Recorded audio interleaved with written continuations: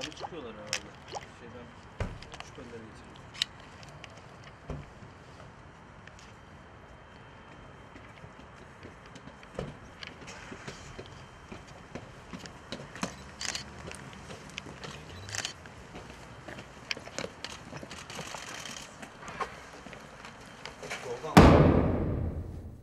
In a joint operation, Turkish intelligence, MIT, and police arrest five suspects in the Masoud Molavi assassination case in Istanbul, Turkey three Turkish and two foreign nationals.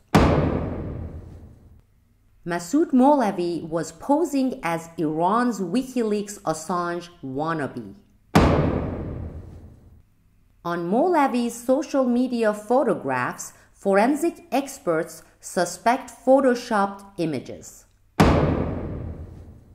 Questionable documents and timelines in Molavi's online collection. Hello everyone, this is Sibel Edmonds reporting from Turkey on the assassination of Iranian triple agent Masoud Molavi in Istanbul, Turkey on November 14. In my two previous breaking episodes, I provided you with breaking background on Molavi, the assassination case, and the three suspect nation states with motives and agendas.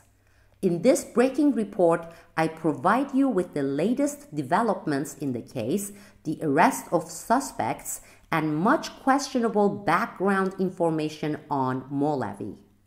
Subscribe and join Newsbud if you're interested in this investigative report series on a case filled with booby traps in targeting Iran, and tune in to my other investigative series, including Operation Gladio B and White Helmet's James Le Mesurier's mystery death in Istanbul, Turkey.